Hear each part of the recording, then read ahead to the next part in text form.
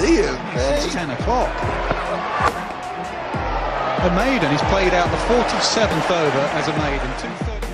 මොකද මට dressing room එකක් පේනවා ඒ පැත්තින් දැද්දි ඇන්ජි මට ඔන්නෑ ලකුණු සීය අපි මේක ගහලි වර කරමු මට මේකට බෝල දෙකයිකු ඕනේ මේ ඔයාට මං අන්තිම බෝල දෙක වෙනකම් වාට සීය ගහන්න දෙනවා කිව්වා ඒක මංහිතන්න එයාගේ නායකත්වය ලක්ෂණ පෙන්නපු තැනක් එයාගේ කොන්ෆිඩන්ස එක. ඒකින් මට මාර විදියට කොන්ෆිඩන්ස එකක්කාව එසීය ගහන්න පුළුවන් කියන එක.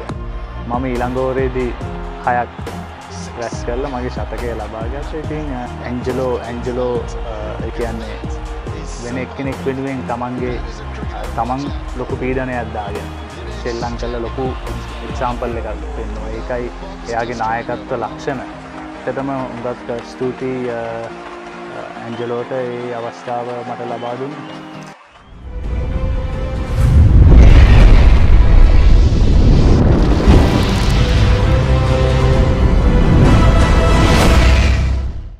දෙදා සෙකොලා වර්ෂයේ ජූලි තුන් වනදා එංගලන්තේ සහ ශ්‍රී ලංකාව ක්‍රිකට් ලොව තිඹේගේ ලෙස සැලකෙන ලෝඩ්ස් පිටියට එකතු වෙන්නේ එක්දින තරඟමාලාවේ තමන්ගේ තුන් වන තරගේ සඳහා.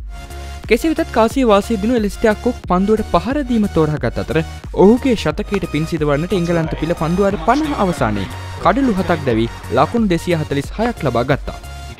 පන්තු එයමේති ලසිත් මාලින්ග සුරංග ලක්මාල් සහ ජීවන් මෙන්ඩි සතරේ කඩලු දෙක බැගින් බෙදී ගිය. Down the pitch, there it is.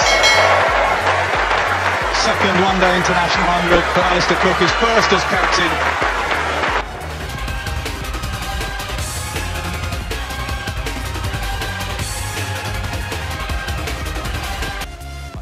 පිළිතුර ඉනි මර්මමින් දිල්ශාන් සහ Mahela පිටියට පිවිසුනා.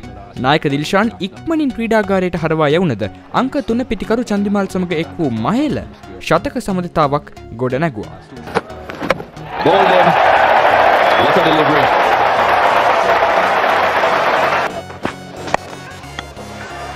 Didn't quite get hold of it, but he got enough bat on ball there. Whoa, what a shot.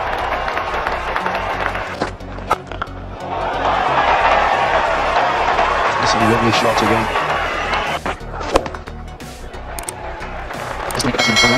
Or even um, but Jawadana gets to his 50. And Lovely shot. It's a really super shot. Pure timing too. It was any kind of a challenging score, but it's out.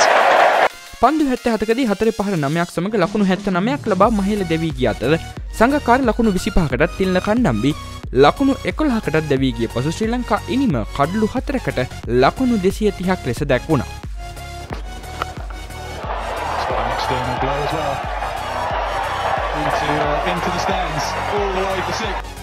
Uh.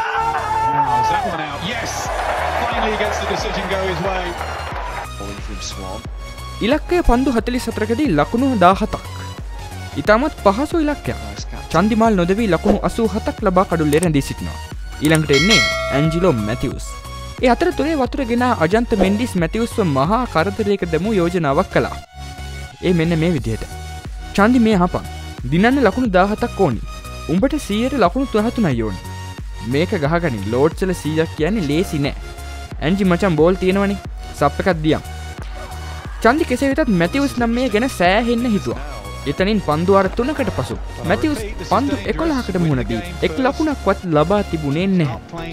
ග්‍රහම් සොන්ගේ ඕවරක් මේටන් වූ පසුනම් කවදත් කණ්ඩායමේ දිනුම ගැන හිතපු නායක තිලකරන්න දිල්ශාන්ට හොඳටම තරහ ගිය අයුරු අපිට කැමරාකාචයට හස වූ දර්ශනවලින් මනාව පැහැදිලි වෙනවා. කෙසි වෙතත් ක්‍රිකට් ලෝ පූජනියම ක්‍රීඩාගාරයේ මුදුනේ සිටි දිල්ශාන්ගෙන් ජාති ඇමතිමක්ටම දැක්ගන්නට ලැබුණ. මාලිංගත් ඒකට හවු. සැබවින් මේ කණ්ඩායමේ දිනුම අනතුරේ දැමීමක්. ශ්‍රී ලංකාවට පහසුවෙන් ජයගැනීමට තිබූ තරගේ ජය ටිකෙන් ටික දෙපිලටම දෝලනය වෙමින් තිබුණ.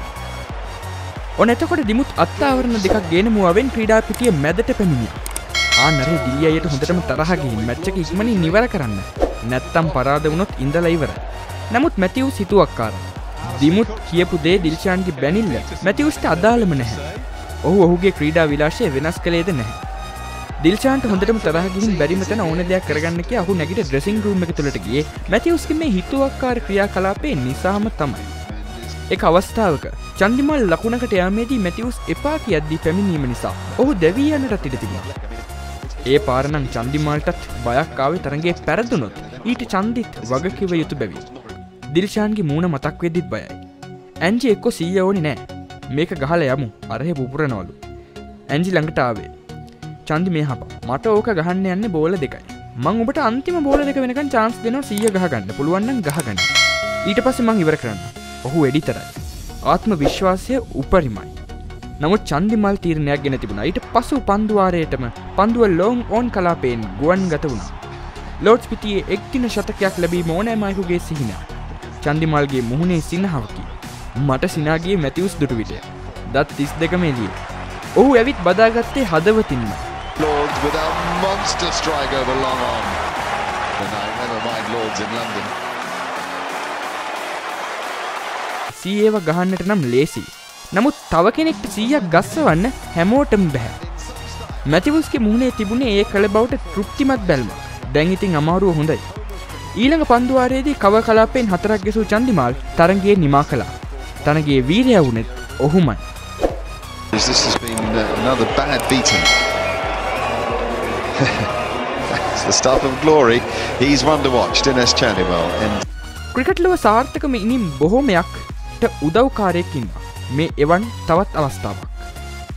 නමුත් තමාගෙන උපරිම විශ්වාසය තබා ජයග්‍රහණය පරදුවර තියලා අනෙක් කෙනා ගැන හිතන්නට හැමෝටම බැහැ. ශ්‍රී ලංකා ඉතිහාසේ දෙදහස් දහය දෙදහස් දහනමේ දශකය බිහි කළ හොඳම ක්‍රීඩකයා බවට මැතිවස් පත් වෙන්නේ දත්තමත පමණක් නොවේ සියලුති ඇති. ඉතින් අදටත් චන්දිගේ ලෝඩ් සීය මතක් වෙදිම අනික් පැත්තෙන් ඇන්ජිගේ ලෑල්ල අපිට මතක් වෙනවා.